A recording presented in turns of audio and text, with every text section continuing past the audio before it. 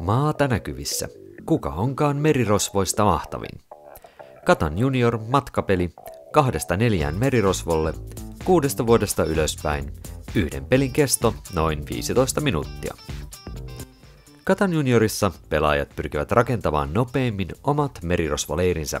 Mustan merirosvolinnakkeen tulivuorelle rakentanut voittaa pelin. Omalla vuorollaan pelaaja heittää noppaa ja ne pelaajat, joilla on noppatuloksen maastoruudun vieressä leiri, saa maaston tarjoaman sitä sun tätä merkin itselleen. Jos pelaaja heitti kuitenkin numeron 6, siirtää pelaaja Katalan kapteeni Korpin mihin tahansa muuhun maastoruutuun ja ottaa kaksi sen ruudun mukaista sitä sun tätä merkkiä itselleen. Kapteeni Korppi häiritsee leirejä ja maastoruutu, jossa kapteeni on, ei anna pelaajille lainkaan merkkejä. Pahan ilman lintu, tuo kapteeni Korppi.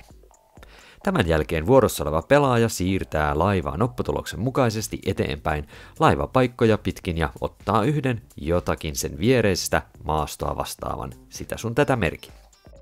Vuorossa oleva pelaaja voi käyttää sitä sun tätä merkkejään joko pyytämään apua papukaja kokolta, jonka avulla voi saada hyödyllisempiä merkkejä tai vaikka siirtää kapteenikorppia häiritsemään vastapelaajan suunnitelmia. Pelaaja voi myös rakentaa uuden merirosvoleirin laivan viereiseen vapaiseen leiripaikkaan, jos hänellä on yksi kaikkia neljää merkkiä tarjolla. Kun pelaaja on rakentanut kaikki kolme leiriään, hän voi vuorollaan siis rakentaa tulivuorelle merirosvolinnakkeen ja voittaa pelin. Mutta tämä maksaa kaksi merkkiä jokaista neljää erilaista resurssia. Katan junior matkapeli, kyntäkää merta tutkikaa saaria ja nouskaa merten mahtavimmaksi merirosvoksi.